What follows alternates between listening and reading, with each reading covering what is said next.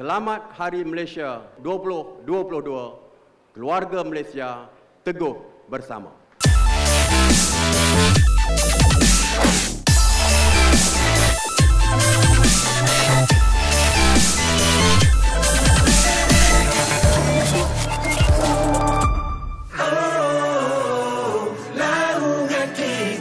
Malaysiaku, tanah airku, negaraku,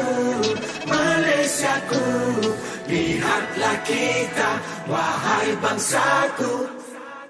Saya amat terharu dengan kehadiran luar biasa keluarga Malaysia yang terdiri dari pelbagai kaum, agama, budaya dan usia pada malam ini.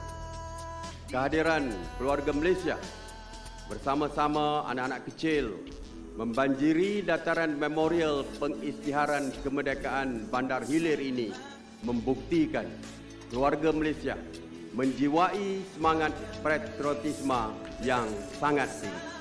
Buat julung kalinya, sambutan Hari Malaysia dianjurkan di luar Sabah dan Sarawak. Pemilihan dataran memorial pengisytiharan kemerdekaan di Bandar Hilir Melaka kali ini sudah tentunya mengimbau kembali lipatan sejarah tanah air kita. Bandar Hilir Melaka ini pernah menjadi saksi laungan pengisytiharan kemerdekaan pada 20 Februari 1956 dan tanggal 30 Ogos 1957 pula. Langit Raya Bandar Hilir ini menyaksikan turunnya bendera Union Jack tepat pada pukul 6.30 petang.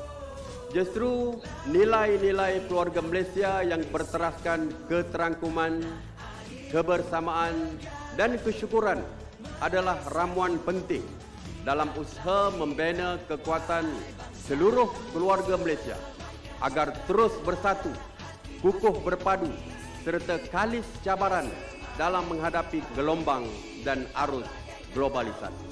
Keluarga Malaysia yang saya kasih sekalian, sebagai sebuah negara yang berbilang kaum dan agama, Hari Malaysia hendaklah menjadi sambutan yang mengingatkan seluruh keluarga Malaysia tentang kekuatan muafakat dan kesepaduan sosial berteraskan integrasi nasional.